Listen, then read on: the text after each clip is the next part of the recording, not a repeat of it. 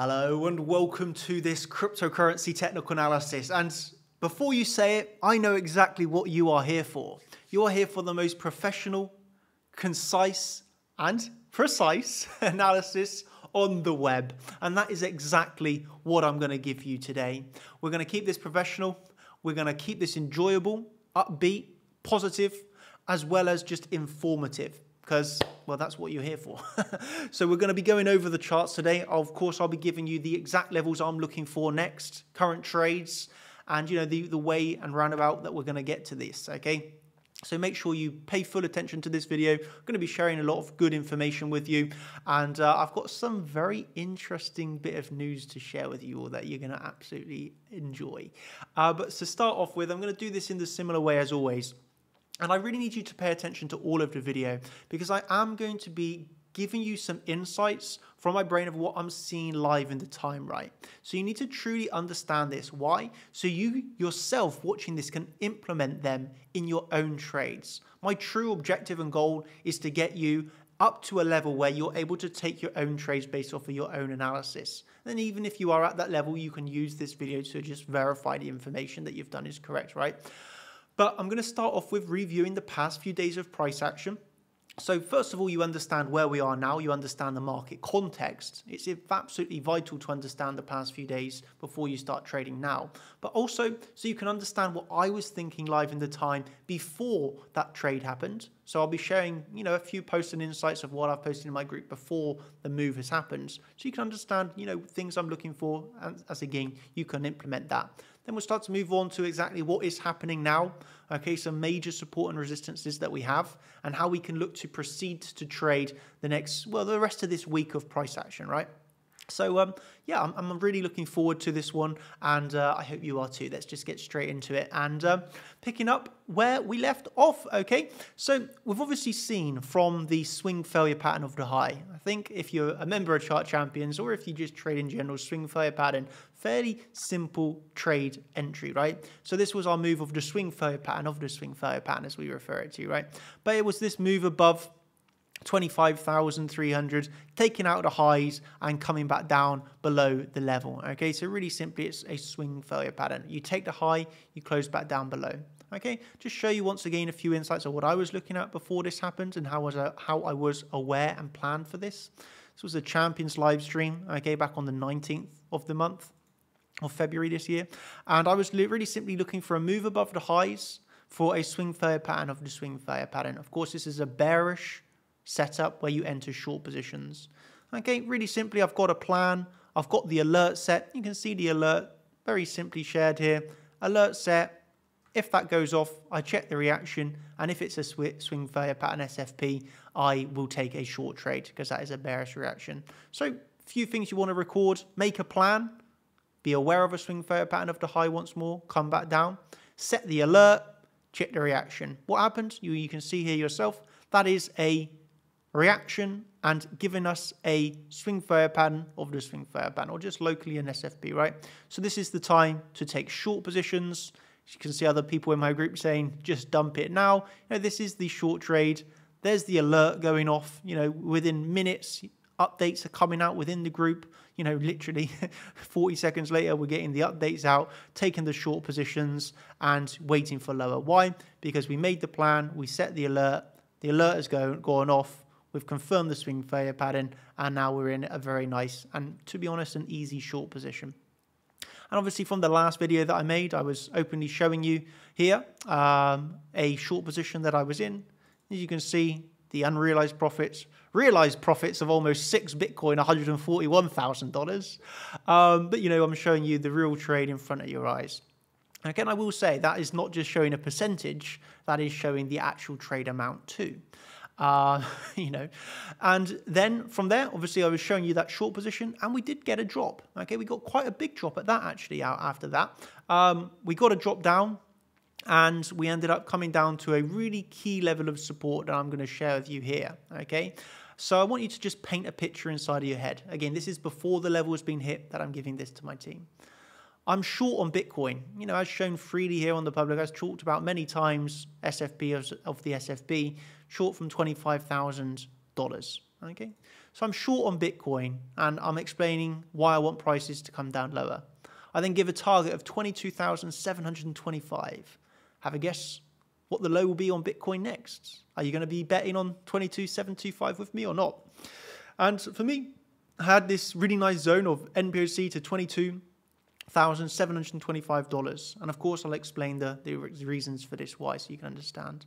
But here we can actually see. Very sorry about that, my friends. this is how my brain works. Here I am doing the Bitcoin analysis, and in the corner of my eye, I just remembered, oh yeah, I actually have to manage that NVIDIA trade, and I was meant to do that half an hour ago at New York Open, and I forgot to do so. And well, to be honest, it was more urgent that I just managed that trade really quickly. And so I've done that, and here we are about five minutes later, right? So, uh, NVIDIA, by the way, what an asset to trade. All I'm going to say, I'm back with Bitcoin anyway and picking up where we were. So we had obviously seen the rejection from $25,300. We were coming down, coming down, coming down. I told my team, you know, the big zone for me of support is from the NPOC to $22,725. Okay, this is obviously our very nice target. You can see myself and others. Perfection is damn perfection off of this level. As I'll just show you exactly what happened here when we zoom in a little bit. Okay, so you can see marked out here 22,725, the level that we're looking at. And how price come down to this really perfectly. Of course, not hit the NPOC, but we got a swing failure pattern of the previous low onto 22,725, the exact low to be precise, $22,719. So not bad, right? Uh, move on to that level, back above, ending in a swing failure pattern. And from there, we got this lovely, lovely rise to the upside, right? And now I'll explain what happened off of this high, and then we're going to move on to exactly what's happening next. Okay, so one final time, we had the swing failure pattern 23,000, sorry, 25,300. That was off of a swing failure pattern of the high. Come back down, where do we come down to? 22,725. This, the reason of this was you had the CC here, you had some Igor sessions here, and of course you had the NPC just below it, which was slightly front run, which is fine because of the fact it ended in a swing failure pattern and the other bigger supports being hit. It was an acceptable reaction for a long trade. Well, you can see myself and a few others getting into that long. And from here, we see a rise in price and we reject. I'll show you this really perfectly. So you can see above us, NPOC 23887, bam, wick onto 23887 NPOC. Boom, boom, boom. uh, I'm going to show you a really nice level of confluence that you would have had of this, and it is off of our anchored VWAP tool. Okay, so our anchored VWAP actually from the highs here, making its way down and came into this with absolute perfection.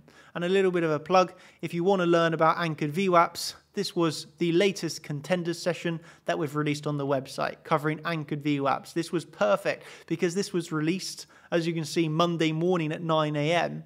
and we hit that uh, Monday at 3 p.m. So it was just absolutely perfect how we released the educational module on anchored VWAPs in the morning and then we had the exact high put in off of the anchored VWAP in the evening. So yeah, that was that was very nice indeed. Uh, and obviously a large move to the downside off of that. Retested the daily, retested the daily, and we're putting in a little bit of a, an internal range here. Um, so now we're going to start to move on to what we're looking at next. Um, so I hope you've absorbed that information. Okay, I start. You can start.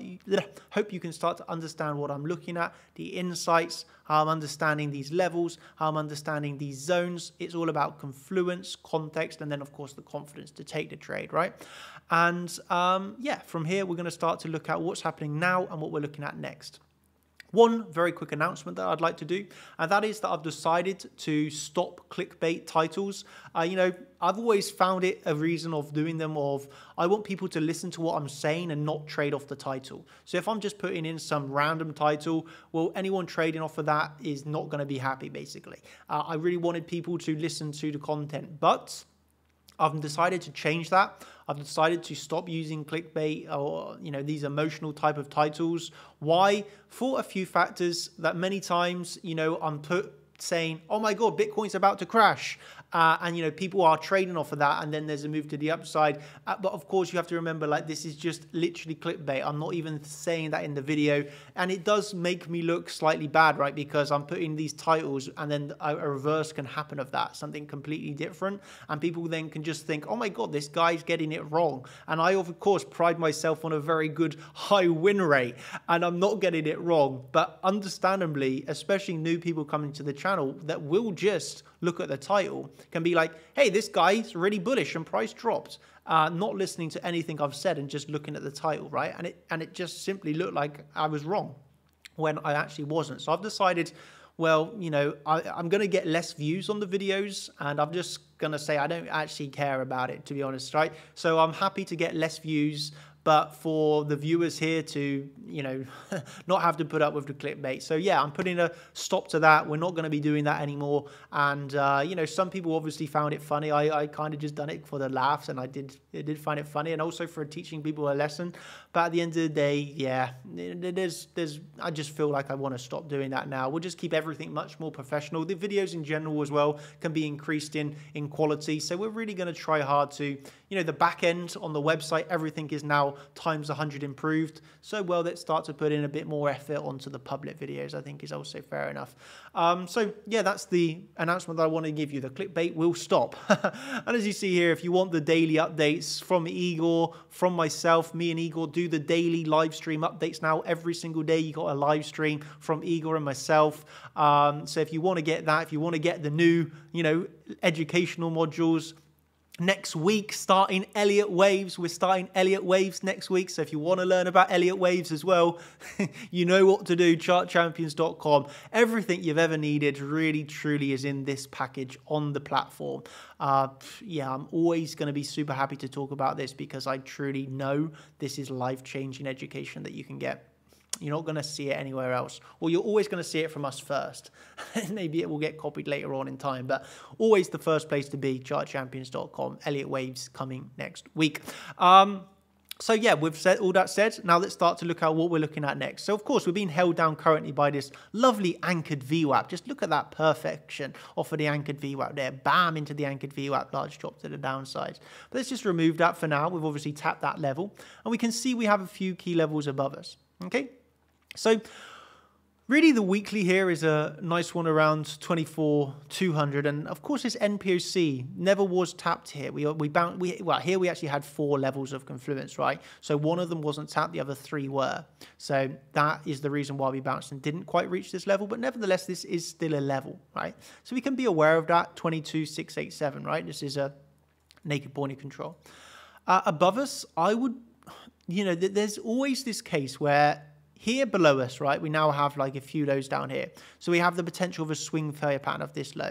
And I am aware that we do have a swing failure pattern potential of this high to around 24K, which would, you know, put in the high here, back down, not quite reach the weekly. So these are levels where, again, I would just set an alert, check the reaction, much like I did when I shorted $25,000, right? Set the alert, check the reaction. You can see here, this is a bearish reaction. Wick above, down below. One minute later, telling my team it's a swing failure pattern. The reason why I love these type of alerts, set and check the reaction trades, because if you're looking for a swing failure pattern here and you just go straight through the level, well, there's no short to be taken there and you look for the next level above us. The same here. If we're looking for a potential long here, we have the alert set and we just go straight through the level, there's no trade. If we get a bullish reaction, then we can get that trade set up, right? So for me, I love to do that. Set the alerts, check the reaction, then make an informed decision of taking the trades. How do we make informed decisions? We can see visually and of course with the order flow.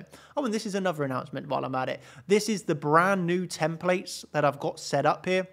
Of course, we've got new Asus templates. This is Exo Desktop. So we've got brand new templates coming your way this week as well. So not only are you going to be gifted with Elliott Waves, you're also going to be gifted with brand new templates.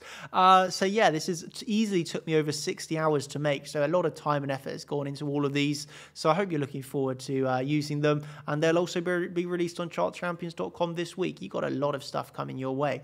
Um, but yeah, to make an informed decision, set the alert, check the reaction, check the order flow, make an informed decision of do you want to take that short, yes or no. I wouldn't preset with a limit order. I would wait to see the reaction and then take the trade. So for me, that does require a little bit of discipline and patience right now. I personally wouldn't jump into a trade where we are right now. Okay, there is no reason for me to think, yes, now is a very good time to take a trade. If I was going for a long, well, my target is going to be above the high, the stop loss is still fairly wide. And if I was going for a short, my stop loss is very wide for a small target. E.g., the risk to reward on these trades are not good, but that's not the reason why I wouldn't take their trade. The reason why is because it's not a high probability trade. You know me, I only take the best. I only take the very best trades. I'm also now more of a swing trader. I trade more on the higher term timeframes, looking at the macro picture on a swing trader's perspective. Here, right now, I don't have that. I don't have a trade setup. So I myself must remain patient. You know, if you're a scalp trader like Igor, Severin, or Rivalry, well, great. you know, there's, there's a lot of opportunities in here. But myself, I'm more of a swing trader, right? And so I don't have an opportunity. So I must remain patient and wait for higher prices to get a trade setup where I'd look for shorts, of course, or a Lower price entry where I'd look for my longs. I only look to short when price is rising and long when price is dropping. So I'm never caught out on the wrong side of the market in that regard. I'm never taking extremely high risks. I love to get into these type of trades where I've got a really valid high probability trade setup and my risk is very well defined. And generally that risk is then equal to being low as well. But I'm not I'm not that bothered. I can take a trade with, you know, a 5% stop loss. But if I can get a trade entry where the risk is or the, the invalidation is 0.5% away, you know, I can adjust my position sizes and, and trade trade that accordingly.